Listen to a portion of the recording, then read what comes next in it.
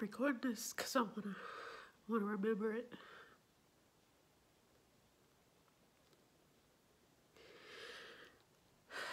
Gabby was scheduled for a podcast interview with Marcus Lemonis of The Profit.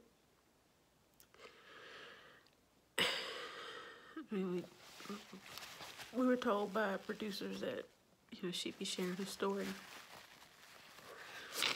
She had a pre-screening interview. Um, so they, they love the story, like everybody loves a story. I love her personality, they love her resilience. So we were prepared for the interview.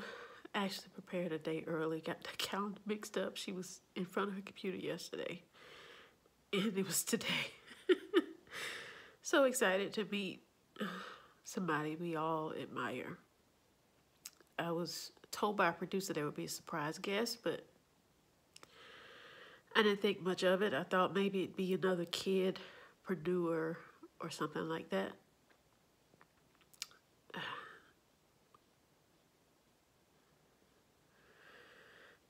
So we get on. The, she gets on the podcast, and of course, mom and dad are here, but they're not. We're not on camera. Um, just here for moral support. Slip notes if we need to. She forgets something. And um, her and Marcus are having a good time. He's really impressed with her, like everybody is. Everybody has been over the last almost seven years. And then the call shifted from storytelling to some grilling about numbers um, that I wasn't really expecting. Um, you know, if she was on the show, we'd be prepared for that. But they said it would be more like stories and, you know, why she does what she does. She she definitely had some numbers prepared, but a couple numbers she did not have that he asked her about, like how much inventory we have. I know that, but she doesn't know that. So she started to fudge. And they had asked me and her dad to come on camera um, just to, for Marcus to say something really sweet and nice to us. So I couldn't slip her the numbers or put her on a piece of paper. Um, so finally she said, I don't know. And I know at that point she felt defeated like she's felt many times over the last seven years. But he gave her great pointers.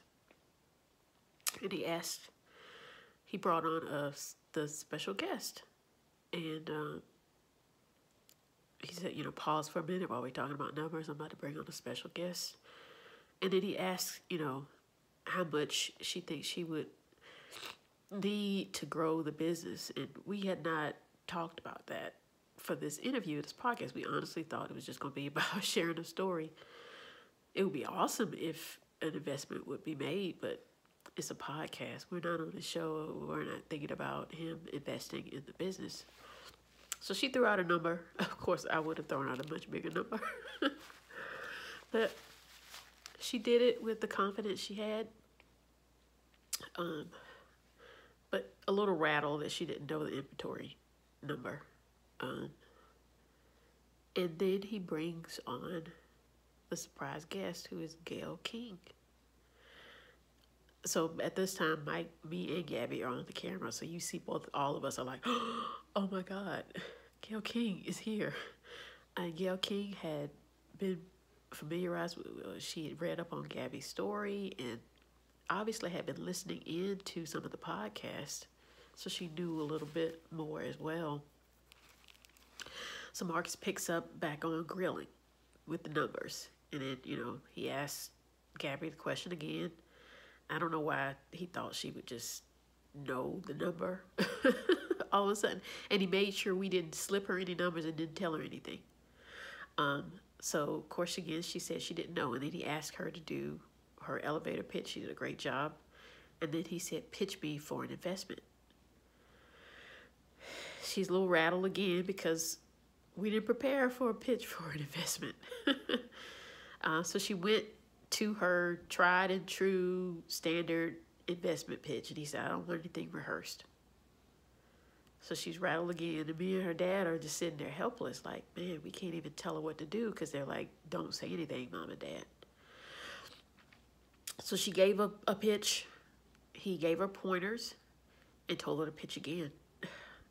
This girl's 14. I mean, like, I'm like, I can't imagine going through this right now. Um, but she takes his pointers, she pitches again from her heart, and it does amazing. And then Marcus shares, you know, I love you, I believe in you. The fact that you, you know, had any type of traction and you're in Target means everything. And I want to help you grow. You know, I want to invest $150,000 in your business in $50,000 increments. We'll see how things progress. He's going to make a call to Sally Beauty Supplies, CEO. He's going to get on the phone with Target. He's going to connect us to a company that he, um, a natural hair company out of North Carolina that he has invested in before and connect them as mentors. So he's sharing all of this and we're in shock. I mean, I'm literally numb. I don't know what to say. Gabby uh, immediately is overcome with emotion. She can't talk. She's crying so hard. And um, Gayle interjects and says, are you, you know, Marcus, are you really going to invest in her? Like, is this real? Like, is this real? And he was like, yeah, I, believe in her. And he said, well, she said, I want I'm going to put $50,000 in too. And then by that time, Gabrielle's just she can't speak. She's so overwhelmed with emotion. And they don't know whether she's sad or they don't know what's going on. She's just crying. And she said, um,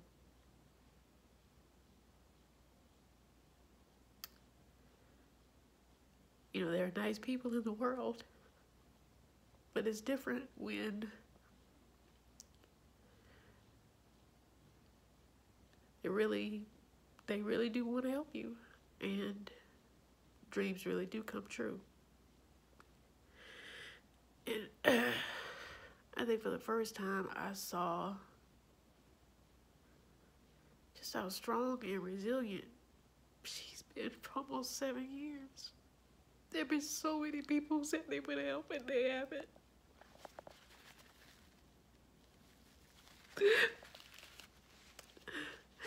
so many almost.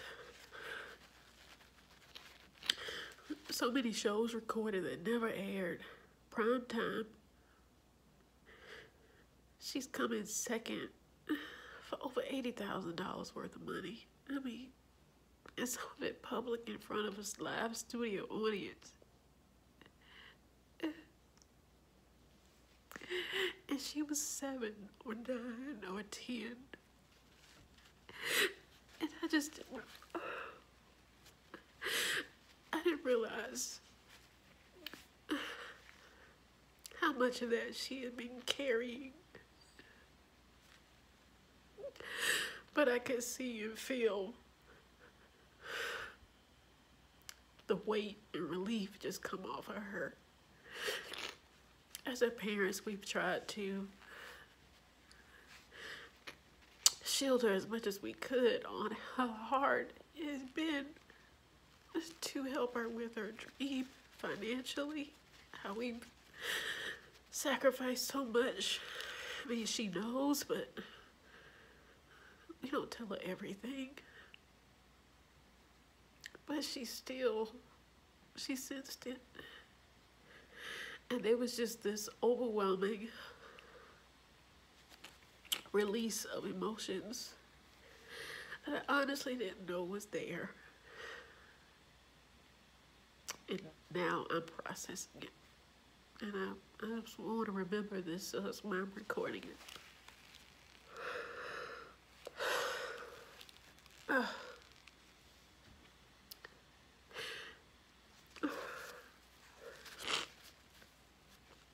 Mike said something to me afterwards. He said, most people want this at the beginning of their business.